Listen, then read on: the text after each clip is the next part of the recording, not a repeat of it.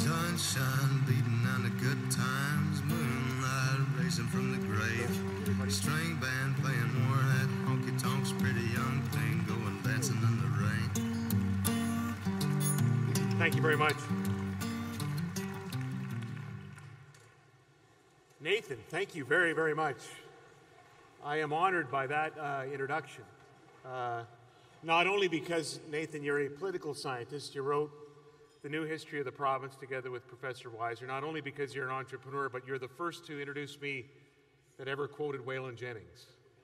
And that might set you apart uh, forever. But thank you very much for the energy that you're contributing to the province and for your entrepreneurship and for Frontrunner Technologies that I think we'll be hearing, hearing a lot more from uh, in the future.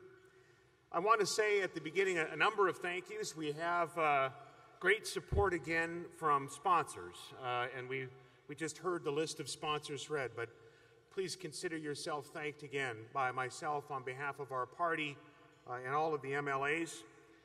Lee Elliott has chaired uh, an amazing committee of ticket sellers and organizers for the event, a volunteer group.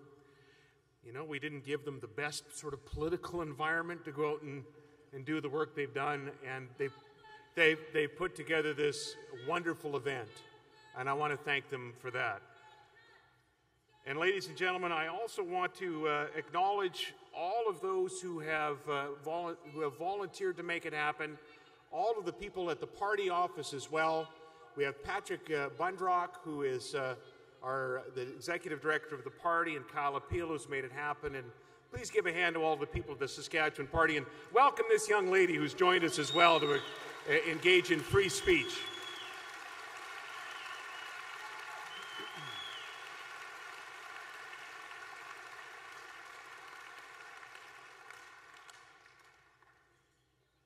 Ladies and gentlemen, uh, uh, my, my wife Tammy couldn't be with us here tonight.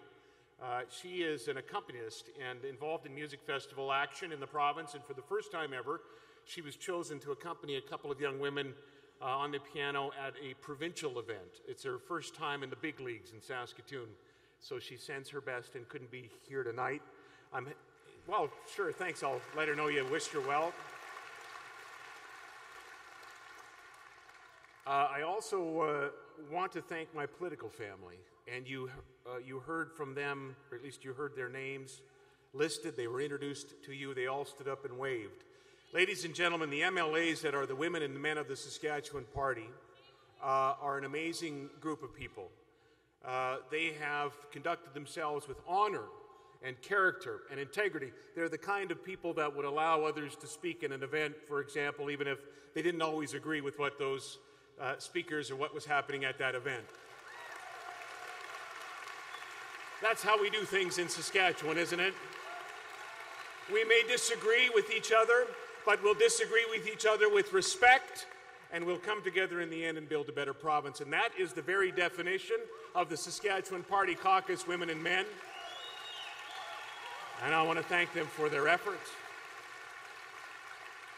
And I know they have been introduced here once, but you know, they don't get enough credit, frankly. So I'm going to ask all of them if they wouldn't mind standing in their place all together. If you, don't, if you don't mind, we won't run down the list of names again so that we can thank them properly for the work they do as members of the Legislative Assembly and the resolve they've shown to make the right decisions in the long-term interests of our province. So colleagues, if you please stand, and ladies and gentlemen, give me, a hand, give me uh, uh, some help in thanking them.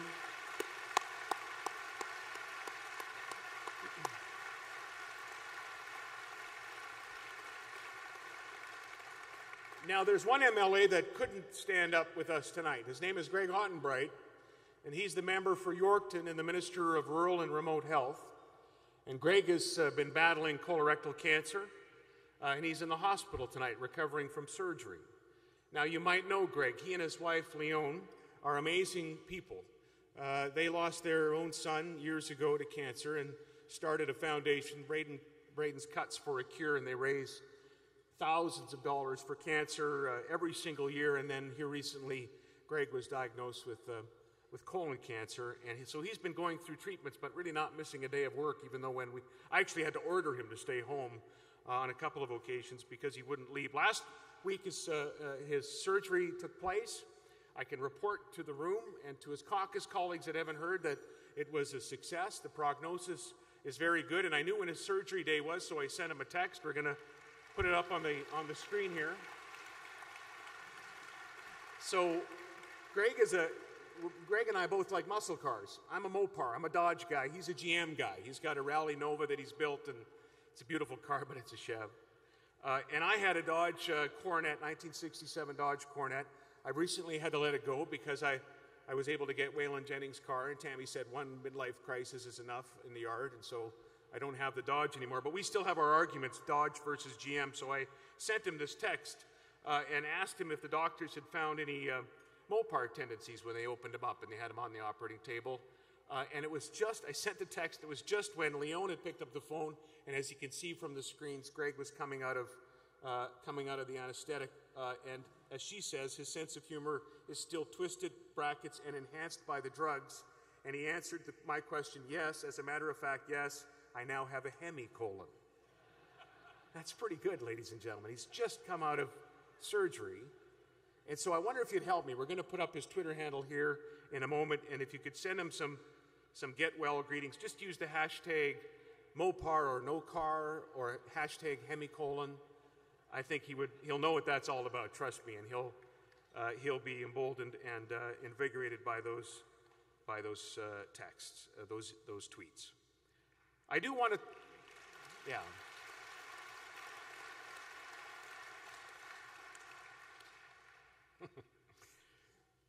I do want to talk about the budget tonight, actually, and I'm, i think our guest has left. Uh, she may or may not want to hear what we have to say about it. But before I do that, I, I, I think it's important to address what has been a contextual or sort of foundational question that, have been, that has been posed by some of our critics and other people in the province related to this year's budget. And the question, it's a rhetorical one by and large.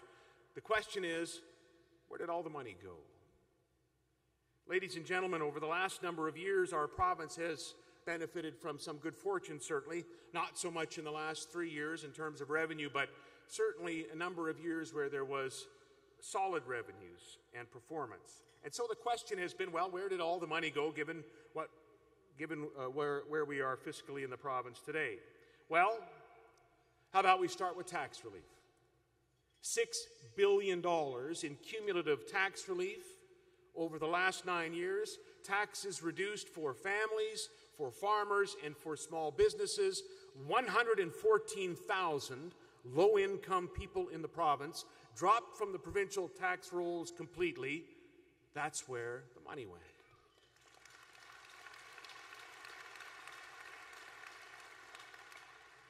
And by the way, there's another party out there, and maybe we saw a supporter of that other party here earlier on, that used to talk about those people on low income and then tax them at the low income rate. So you can kind of talk about things or do things when the opportunity presents itself. And we're never going back to a day when those 114,000 low income people are having to pay provincial income tax again in Saskatchewan. How about a billion dollars off the operating debt? That's where the money went. $20 billion in infrastructure investment to deal with a structural infrastructure deficit that was left behind in this province. $20 billion in new infrastructure. That includes nine record highways budgets, 12,000 kilometers of road fixed or replaced, and we know that there's more work to be done. The Regina Bypass, the largest infrastructure project in the history of the province of Saskatchewan, saving $380 million over a conventional build because we used a P3. 90 of the 130 companies involved from the province of Saskatchewan, that's where the money went, ladies and gentlemen. How about 800 more teachers? 800 new teaching positions in the province, that's where the money went. 40 new and replacement schools right across the province of Saskatchewan, 13 in Regina and area. That's an investment of a billion dollars. More teachers in new schools. That's where the money went. Just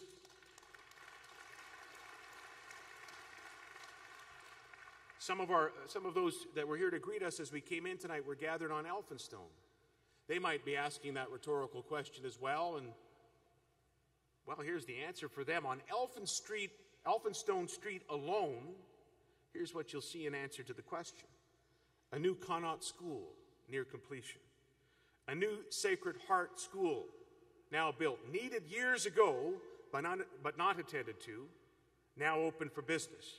A new Scott Collegiate under construction, the heart of a $45 million integrated community center with childcare spaces, with a recreational complex and a library and a police station.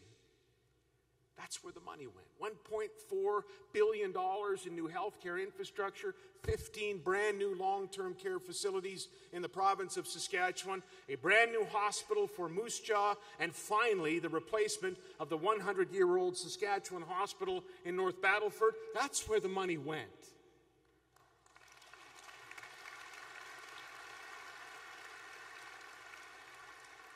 When we took office in 2007, there were two provinces in the Dominion of Canada that didn't have a children's hospital.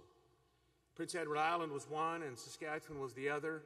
And now there's only one left on that list because we went ahead with the decision to have a children's hospital for the province of Saskatchewan. And you know, the, the, the story behind that, where the money came from for that, is kind of interesting.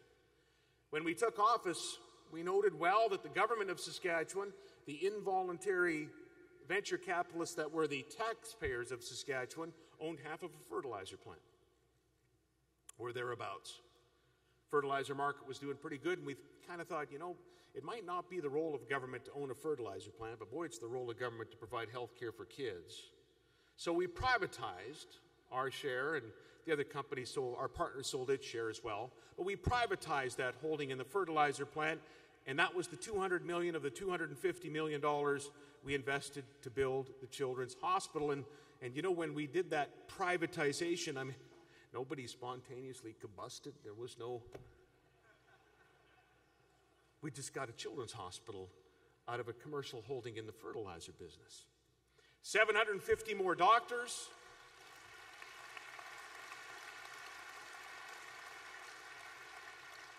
750 more doctors practicing in Saskatchewan, 3,000 more nurses of every designation, 770 more people on the front lines providing long term care for the seniors and those who are in long term care in our province, a doubling of the funding to the Cancer Agency, and $350 million over nine years in the Surgical Wait Times Initiative that deployed private clinics in the public system and took the longest wait lists for surgery in all of Canada under the NDP here in the home of Medicare, in the home of Tommy Douglas, to the shortest wait times in all of Canada, and that's where the money went.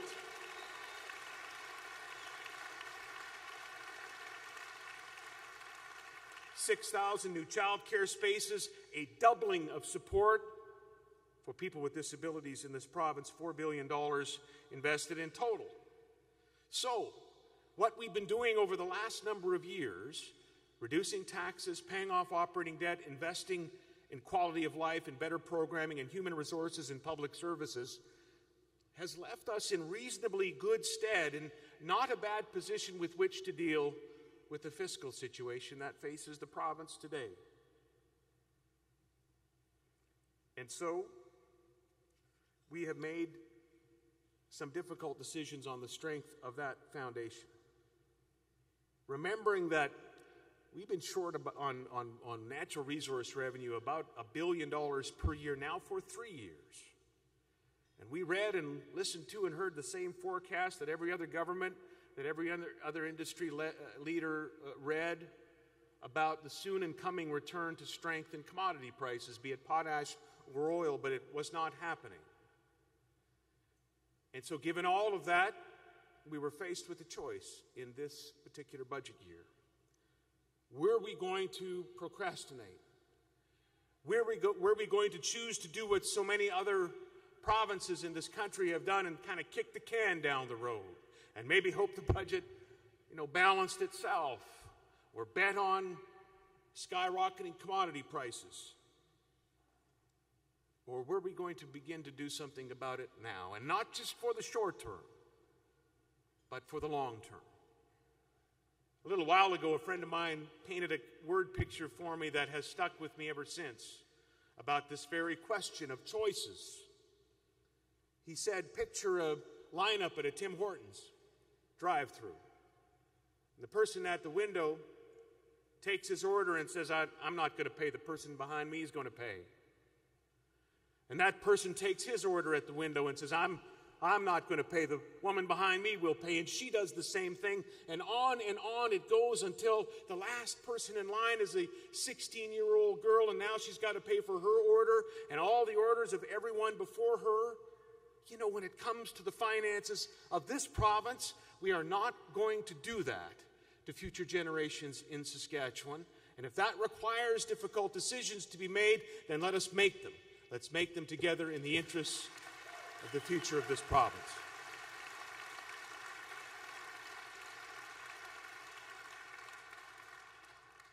So, ladies and gentlemen, as a result of that, there's a couple of major policy shifts that are represented in this budget. Some major tax shifts that are represented. First, we have began the shift away from a dependence on resource revenues. We think it's probably time to do it. Maybe it's been time to do it since oil was first discovered at Fosterton number 1 near Swift Current. But we're going to take the occasion now to begin the process of moving away from that dependence. That's the first shift. The second shift is to move taxes away from those that impact income and investment and those job creating forces towards consumption. That's what economists would advise that we do, and that's what historical data and experience would advise that a jurisdiction do. Now, there's not been a lot of coverage about you know, those two policy shifts that are integral to the budget that's been tabled. There's been a lot of other coverage, and I understand why. A lot of tough, tough decisions represented therein. There hasn't also been a lot of attention paid to the fact that this really wasn't about this year's budget. We tabled a three year plan to get to balance. But more importantly, we tabled a long term plan to eh, further improve the competitiveness of the Saskatchewan economy, to make sure that this economy and this province are strong even as we meet the fiscal challenge that we have in the short term. Years ago, um, I remember talking to my dad about just the long term perspective of things, and maybe it was a more of a theological discussion, but it sure has an application with respect to the budget. He said, he said, Picture, Brad, that you know, there's a parade going down the street, but there's a fence between you and the parade, and, and you can't, you really can't see it, except for what you could see through one little hole in that fence. When you look through that hole, you're, you're just going to see whatever part of the parade is right before you at the time, and in the case of this budget, perhaps, whatever issues being raised at the time. That sometimes you need to rely on someone who can look over the fence or get up there, do the work, climb up a little higher, and look over the fence and see the broader context. And if we were to do that with respect to this budget, here's what we would see we would see a three year plan to balance the budget. But more important than that, when the three years are complete, we would see a province of Saskatchewan with the lowest taxes on business of any place in Canada. We would see at the end of that three years a province that will have the lowest taxes on manufacturing and processing in Canada by quite a margin. It's all in the budget, it's all part of this plan. We would see the lowest taxes for all income groups, low, middle, and high, in the country at the end, at the completion of this three year plan. We would see, if we looked over that fence, nation leading research and development and innovation tax incentive, the likes of the patent box that Nathan talked about, first of its kind in North America, to shelter those that are innovating and creating something new in our province from taxes until they're in a position maybe to pay them. If we were to look over that fence and look to the end of that plan, we will see that of all of the provinces that have a PST, we'll still have the lowest PST in Canada. And finally, ladies and gentlemen, if we look at the end of that plan, we will see the only province in all of Canada that doesn't have a carbon tax because we're going to beat them in court.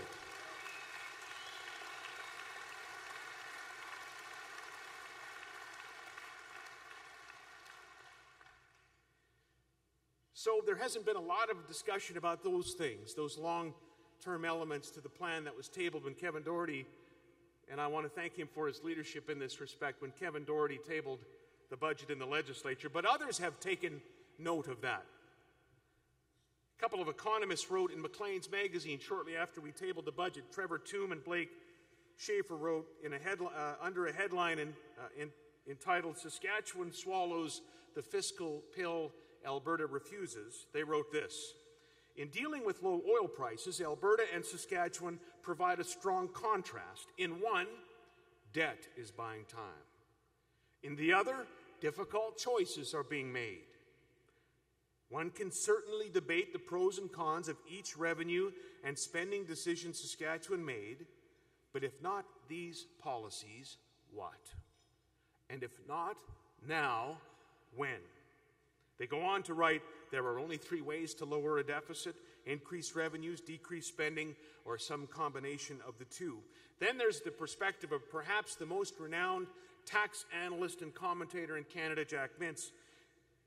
He wrote that our budget, quote, keeps spending down, starts balancing the books, and shifts taxation to less discretionary revenue sources. He goes on to say next time this year, these budget makers could be facing a far different situation if the United States sharply reduces personal and corporate income taxes by 2018, as the Republicans plan. Saskatchewan has at least prepared itself better than Ottawa has, and, and obviously that comment was made absent the knowledge that we have today about what the Americans are going to do with respect to a carbon tax, which is they ain't going to have one. That's pretty clear.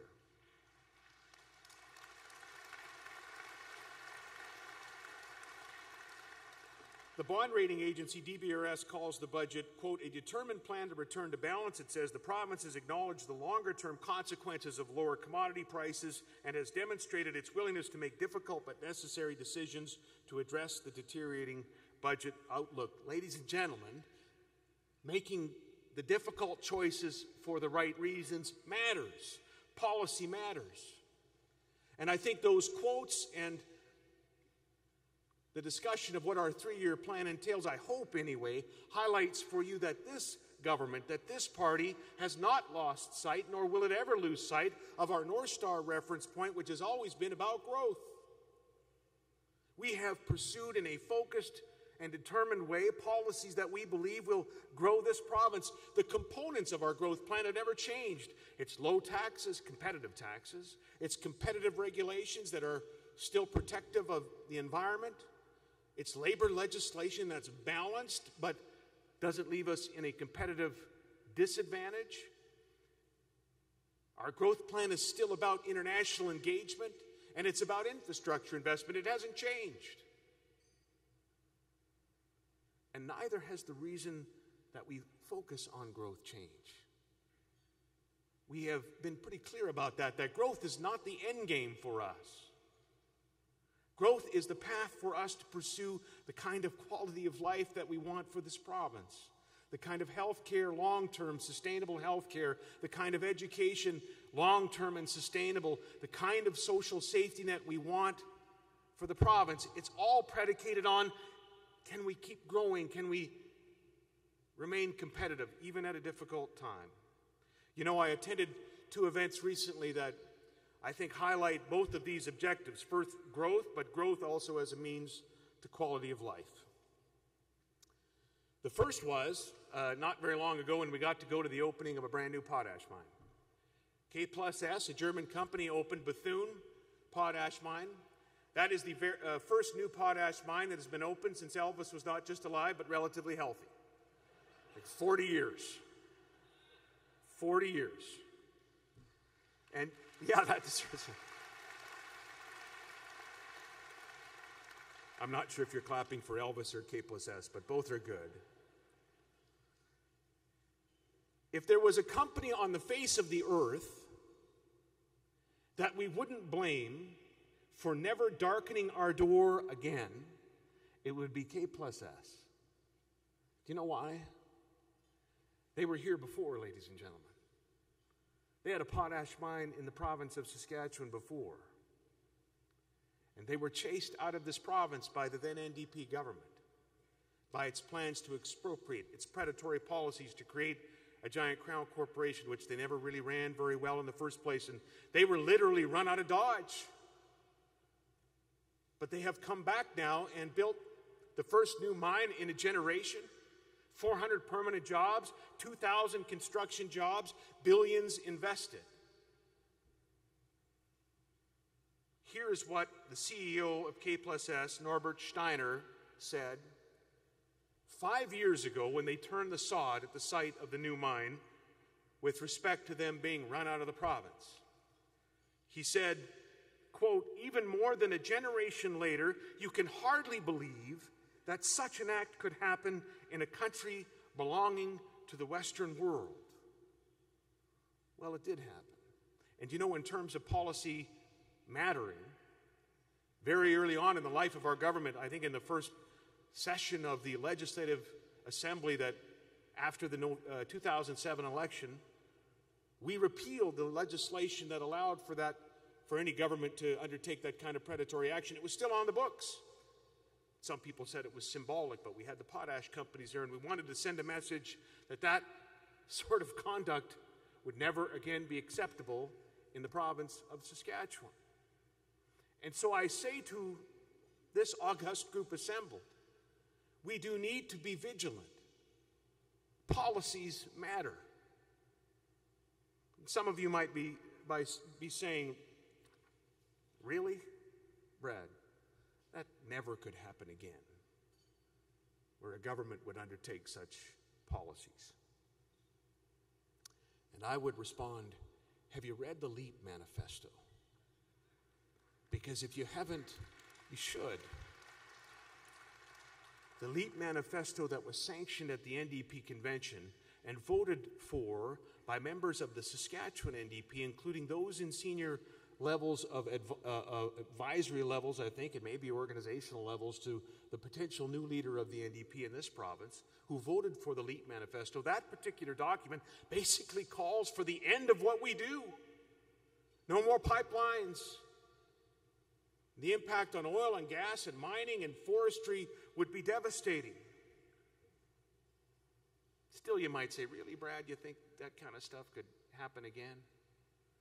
Consider in Alberta just earlier this month, they took away the secret ballot for union certification votes. That's a change we made in 2007 when we decided Saskatchewan should join, I don't know, the rest of the free democratic world and allow for a secret ballot. They're going the other way there. Really, Brad, you think that stuff could happen again?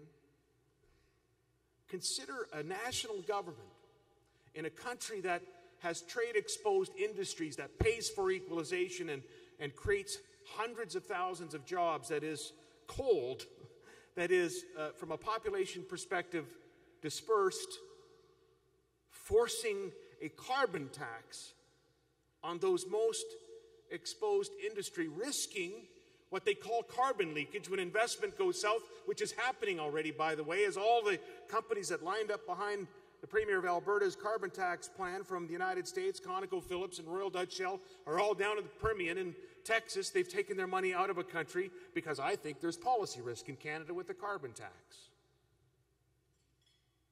Policies matter and our vigilance matter. Consider what the BC NDP and Green Party alliance are proposing for that province if you think this kind of thing can never happen again. They're going to increase taxes on investment. They're going to increase the carbon tax. And they're going to kill Kinder Morgan, which is mostly a, a twinned line. Hurting not just BC, costing them not only investment and jobs, but hurting all of Canada, hurting us in Saskatchewan. Because right now we sell our oil at our discounted North American West Texas price.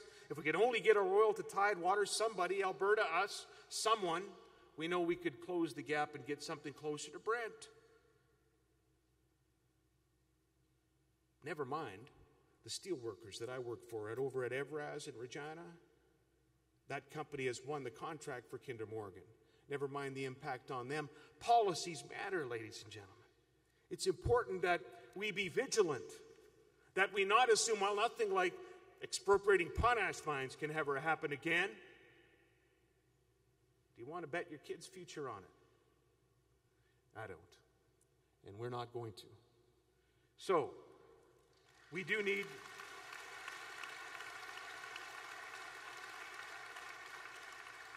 So we're going to main, uh, remain defensive when it comes to our industries. We're going to remain vigilant in terms of the interests of the province of Saskatchewan. And we're going to be focused on those economic matters so that we can ensure there's quality of life for everyone in this province.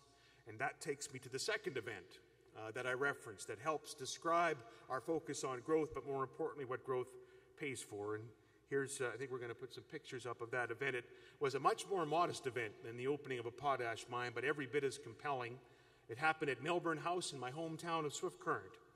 We opened up the ninth group home operated by Southwest Homes, a great community based organization in my hometown. When our government was first elected, there were two group homes in Swift Current. This was the ninth. When I was first elected, there was not a program, not a respite program for families to be able to take a little break and recharge after pouring out their heart and soul for their kids, remembering that some of these families that are raising folks with intellectual disabilities are themselves seniors. And now there is a full time respite program uh, in Saskatchewan. And so we were there to mark the opening with Edward and Quentin and Daryl and Corey, who are the new residents of that particular group home who have a little bit more independence than they otherwise would have had, and great care from that CBO.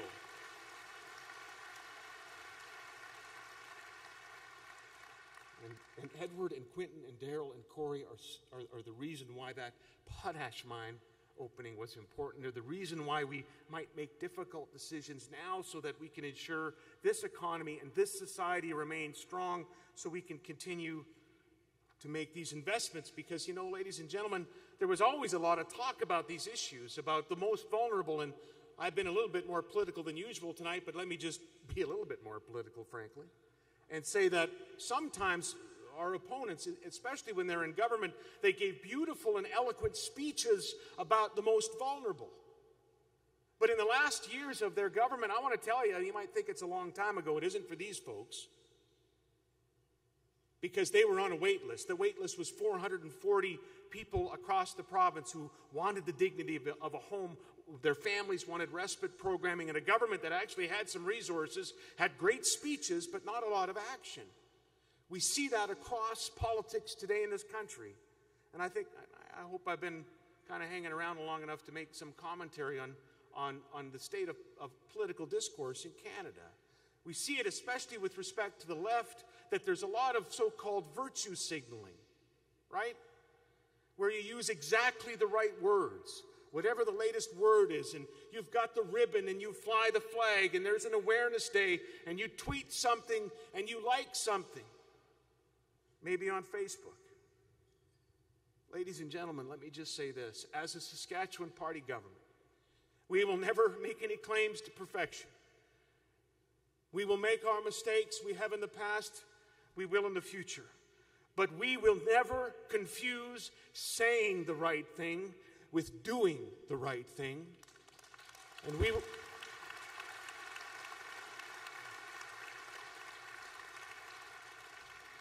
And we will understand with clarity that in order to do the right thing, CBOs and the government, well, we need a, a broad and robust tax base. We need a strong economy. That's how we can do more than just talk or put on a ribbon or raise a flag. And here's the good news, ladies and gentlemen this economy has weathered this commodity price storm amazingly well. Today in Saskatchewan, there are 60,000 more jobs than there were in 2007. Today in Saskatchewan, there are 160,000 more people living here. We've grown every single quarter, including through the decline in the commodity prices. 160,000 more people living here than there were in 2007. And, and as of today, in terms of the now, Saskatchewan is leading the country in terms of growth in manufacturing sales. We're leading the country, not second, not third, leading the country in building permits. We're outpacing the nation in retail sales and wholesale trade. And obviously, there are more oil wells being drilled and more service companies working in the province today. Our economy has got momentum. We will stay focused on the economy. That's what this budget is all about. Fiscal responsibility is the foundation, and competitiveness for years to come. We will continue as a government to be proud of, to embrace, to foster the oil and gas sector, and mining, and forestry, and agriculture, and yes, Nathan, innovation, and yes, manufacturing. We will embrace those sectors not because they need a hug, but because we know that's how we can provide for Quentin and Daryl and Corey and Edward now and for years into the future. We're going to focus on these things and make these difficult decisions now in support of the future of everybody in this province being better than were we to maybe take the easy route. Everyone, no matter where you live, rural or urban, north or south, no matter your income, no matter your station, no matter what you believe, no matter what you want to protest, no matter how you vote, or who you love, or where you came from, or how long you've been here, you should be able to expect of your government that we would be unceasing in our efforts to create a Saskatchewan worthy of your vision, worthy of your ambition, worthy of your compassion. You should expect a government in this province, and trust me, you have one, that is resolved that this province, Saskatchewan, would never again become the place to be from, but that we would be, that we would remain a wonderful place, the place to be. Thanks for coming. May God bless the province of Saskatchewan.